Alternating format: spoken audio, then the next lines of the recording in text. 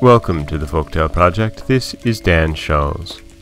Today we have another Russian folktale from Alexander Afanasyev. This story is really about those mischievous beings who live in the wood. This is the Wood Sprite.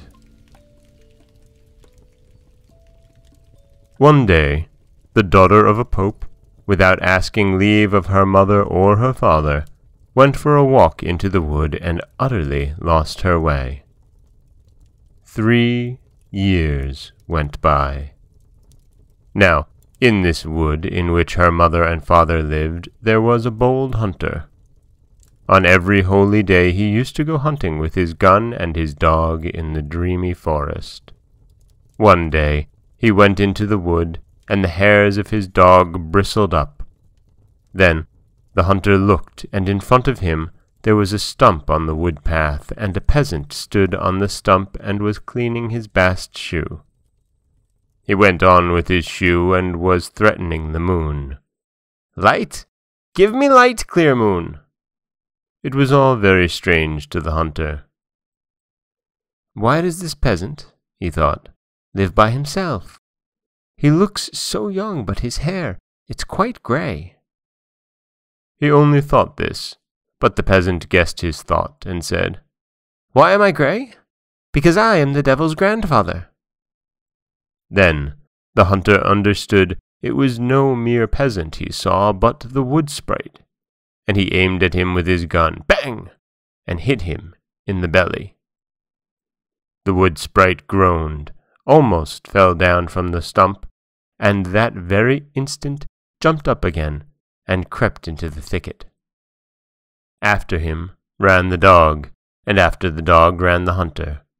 So he went on and on and on, and he came up to the mountains, and on one of the mountains there was a fissure, and in the fissure stood a little hut.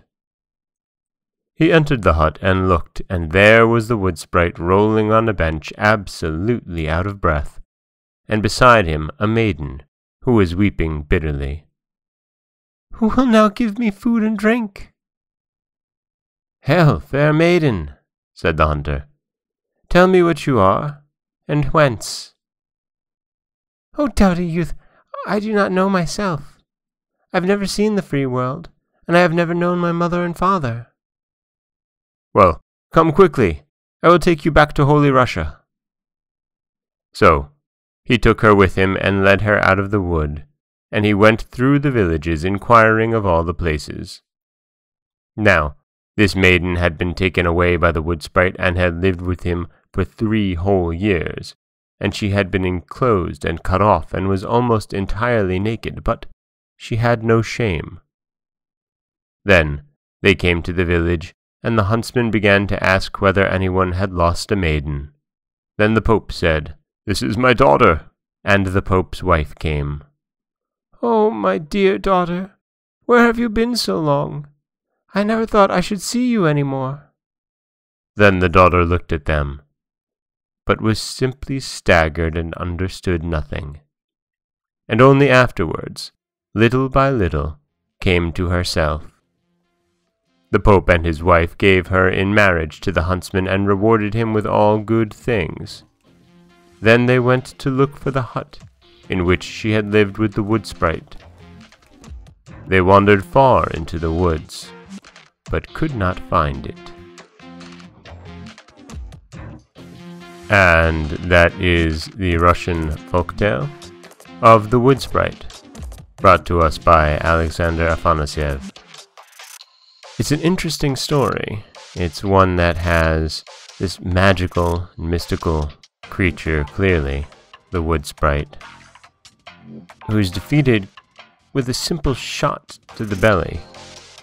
I mean, we don't actually see him perish in the tale, but it was enough to stop him, send him back to his home, and leave him so incapacitated that he couldn't stop the hunter from rescuing the maiden.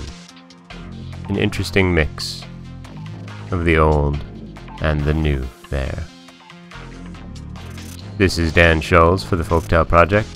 Don't forget that you can subscribe to the podcast on Apple Podcasts, Stitcher, Google Play, Overcast, anywhere you like to get your podcasts. You can follow us on Twitter at Folktale Project. You can find us on Otto Radio, TuneIn Radio, iHeartRadio, Spotify, anywhere you like to listen. And you can always head over to folktaleproject.com, where you'll find a new story waiting for you every Monday, Wednesday, and Friday. As always, thank you so much for listening.